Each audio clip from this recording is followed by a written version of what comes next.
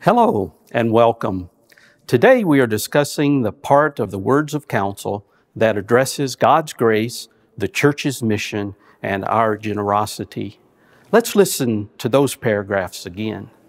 Free the full capacity of Christ's mission through generosity that imitates God's generosity.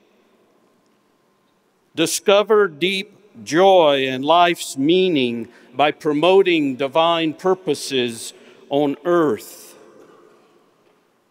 Listen to the testimonies of those who are responding and follow your soul's yearning to come home to God's grace and generosity. Remember, a basic discipleship principle is growing Christ's mission through both local and world mission tithes according to true capacity.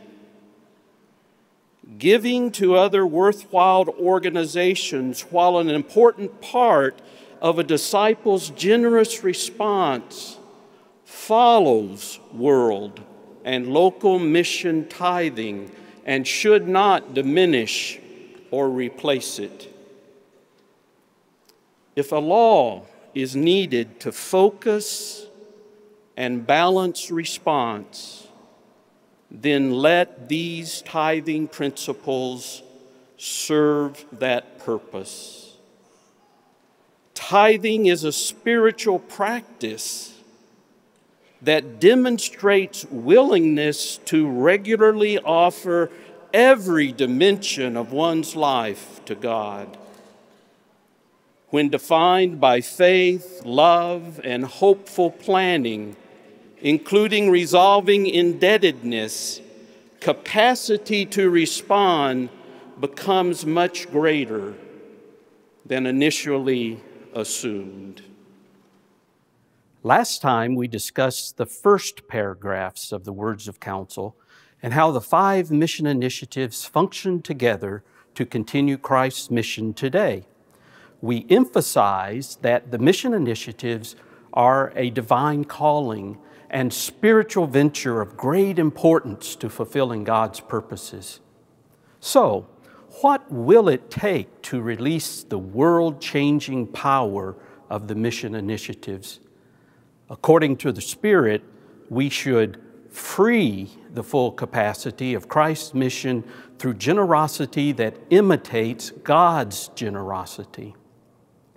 A primary characteristic of God is eternal love expressed in grace and generosity, especially as received through Jesus Christ. As human beings created in God's image, our purpose is to reflect God's nature Generosity is a primary way we both receive and respond to divine grace. With that spiritual truth emphasized, the counsel lifts up once again the importance of tithing as a spiritual practice that grows us in God's image. I said once again because inspired counsel about the relationship between God's purposes and our generosity is a frequent theme in continuing revelation. Because of questions about the definition of tithing, we'll now define it. This statement is the official interpretation of the presiding bishopric for the church today. Tithing is offerings to support local, mission center, and worldwide church ministries. Tithing is a disciple's generous response to God's grace and generosity revealed in Jesus Christ. A disciple's calling is to give according to true capacity as a witness of God's generosity and as a spiritual practice that helps disciples grow in relationship to God. Disciples seek to share 10% or more of their annual income as tithing before saving and spending. For some people, though, there's not enough income to meet basic living expenses. Then tithing is an offering of any amount or item desired, including giving one's life in service to Christ and the church. Tithing is given to local and world ministries equally. Giving to church affiliates is the priority after tithing. However, those contributions are not tithing. Contributing to other charitable organizations that recognize the worth of persons and are committed to bringing Christ's ministry to them is encouraged. But those contributions are not tithing either. As understanding of God's grace grows with true capacity to give through wise savings, responsible spending, and debt reduction, disciples make additional tithing contributions.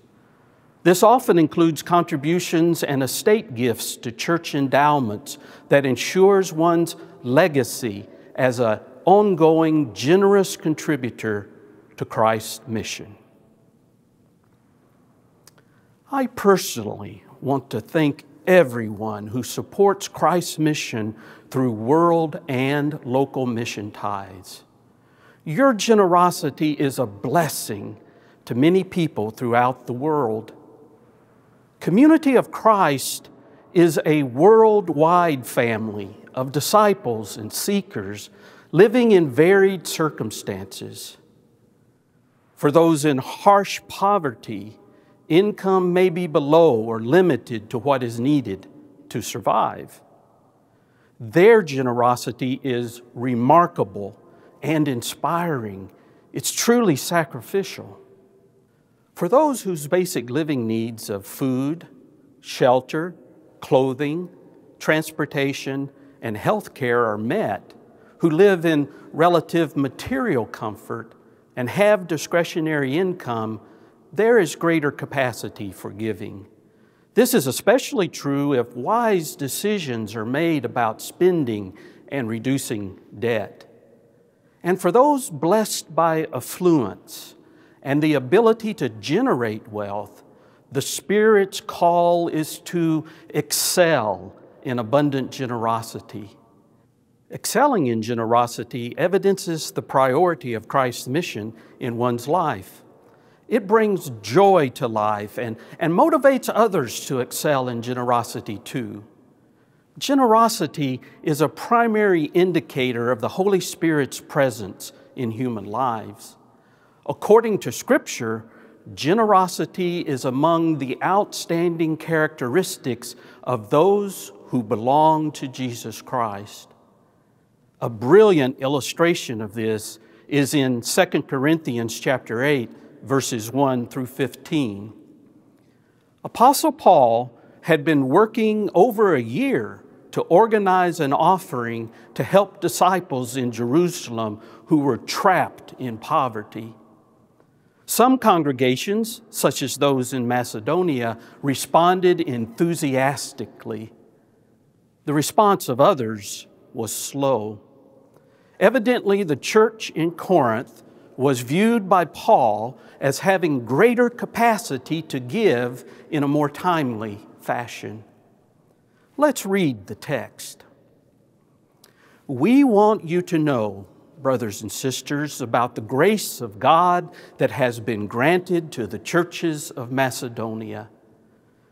For during a severe ordeal of affliction, their abundant joy and their extreme poverty have overflowed in a wealth of generosity on their part.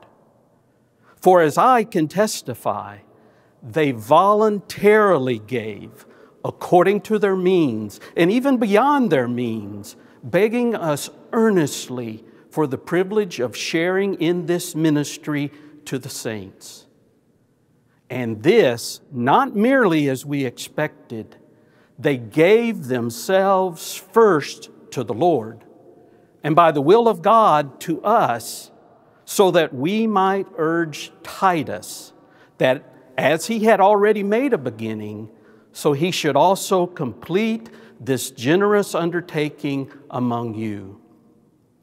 Now, as you excel in everything, in faith, in speech, in knowledge, in utmost eagerness, and in our love for you, so we want you to excel also in this generous undertaking.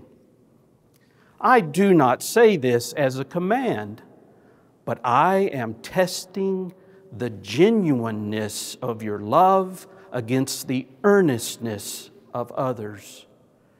For you know the generous act of our Lord Jesus Christ, that though he was rich, yet for your sakes he became poor, so that by his poverty you might become rich. And in this matter, I am giving my advice. It is appropriate for you who began last year not only to do something, but even to desire to do something. Now, finish doing it so that your eagerness may be matched by completing it according to your means. For if the eagerness is there, the gift is acceptable according to what one has, not according to what one does not have. I do not mean that there should be relief for others and pressure on you, but it is a question of a fair balance between your present abundance and their need, so that their abundance may be for your need, in order that there may be a fair balance. As it is written, the one who had much did not have too much and the one who had little did not have too little. Time does not allow us to explore the whole passage today. However, I want to highlight some spiritual truths I gained from studying it. First, note that Paul begins by emphasizing the grace of God that has been granted. Every point that follows relates to how God's grace is given freely and how generosity flows from receiving it. Second, generosity is a lifestyle of growing response to God's never ending gift in Jesus Christ. The text states they, the Macedonians, gave themselves first to the Lord. Their generosity overflowed from that relationship. Instead of seeing Paul's request as a burden, they begged earnestly for the privilege of sharing. They did not have to be commanded. When generosity is the privilege of sharing because we belong to Christ, the embodiment of God's generosity, we grow spiritually. This same principle is lifted up in Doctrine and Covenants 147 5a. Stewardship is the response of my people to the ministry of my Son. Third, when calculating capacity to give, the Macedonians did not focus on what they did not have. Instead, they based their generosity on faith in the sufficiency of God's grace to sustain them. Despite their situation, they believed they were wealthy in Christ. Their spiritual richness overflowed in a joyful wealth of generosity. Fourth, the Macedonians' generosity to help the Jerusalem Christians is a clear sign the church, the body of Christ, is one living organism.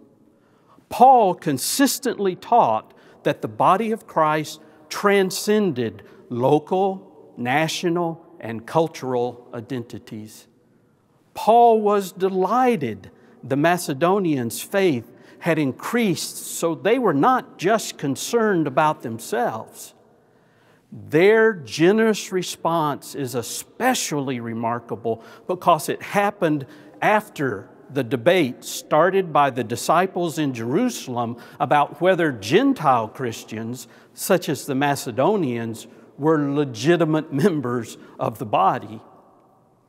Despite religious and cultural differences, the Macedonians gave to help other parts of the body because the dividing wall is broken down through Christ. Giving to local and world mission today means we have discerned the true nature of the church. To Paul, it was a principle of a fair balance between true capacity in some areas and evident need in others. So, the one who had much did not have too much, and the one who had little did not have too little.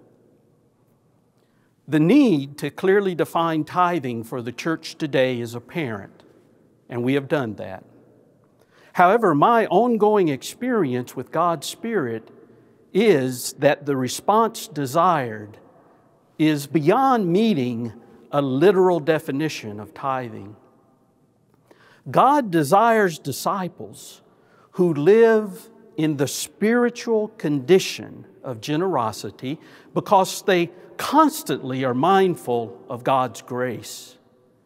Our definition of tithing moves us toward the spiritual condition of generosity, but it's not the journey's final aim. Our vision is a worldwide community of oneness and equality in Christ, among whom there are no poor or oppressed, because the spiritual condition of generosity is pervasive. Of course, that vision describes the spiritual condition necessary for the realization of the hope of Zion, God's just and peaceful reign on earth. So, how are we doing with generosity? Last April, I stated that tithing trends are not meeting the income projections in the world mission budget. In response, we reduced expenses. We also lowered the tithing goal from $15.4 million to $12 million, an amount similar to tithing received in 2010. That was a $3.4 million reduction in projected income. Last June, the World Church Finance Board approved a fiscal year 2015 budget that kept the tithing goal at 12 million and proposed expenses exceeding income by 3.8 million. This occurred with the understanding that other income sources would cover the deficit, and the presiding bishopric was working on a plan to balance the budget by the beginning of fiscal year 2018. Since then, the presiding bishopric has drafted a five year financial plan to achieve a balanced budget. The work analyzed all church income, funds, endowments, assets, and current and future obligations. Because of uncertain global economic conditions that continue to impact investment earnings, world mission tithing trends, and our obligation to provide for current and future payments of pension and post retirement benefits, the presiding bishopric, with the support of the World Church Leadership Council, has decided to take a more cautious approach to world mission budgets.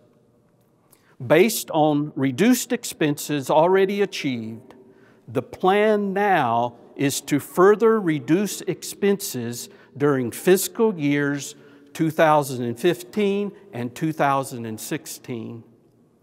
This will result in a balanced budget in fiscal year 2016 of approximately $20 million for world mission.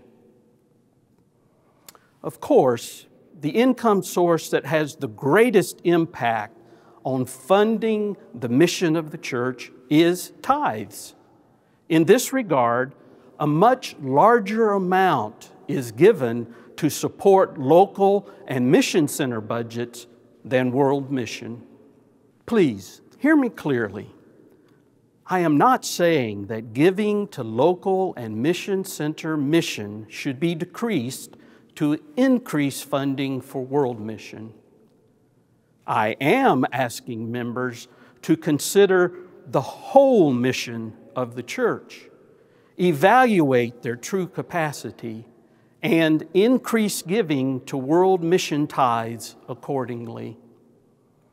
Before the need to reduce expenses, we were preparing to implement mission strategies that include expanding the church into new nations, revitalizing congregations in the USA and Canada and planting new ones, developing the temple as a spiritual formation and global peace center, and greatly enhancing church communications around the world. As income increases, we will be able to accelerate rather than delay these efforts. Looking to the future, we can be confident we have a divinely inspired vision and mission. I'm encouraged by efforts underway to create additional income to support world mission. And I am especially grateful for the growing number of members in places like India, Africa, and Central America who are starting to contribute to world mission tithes while continuing to support local congregations. I'm also inspired by past generations of church members who met great challenges to the church's future with boundless faith, determination, and sacrifice. While our future is not in jeopardy, the opportunity we have to rise up together in faith, hope, and abundant generosity is just as compelling. I have faith the church of today will respond. Generosity is an act of faith and prophetic hope in response to divine love revealed in Jesus Christ. It is a disciple's investment in the future of Christ's mission on earth. What is your commitment to that mission?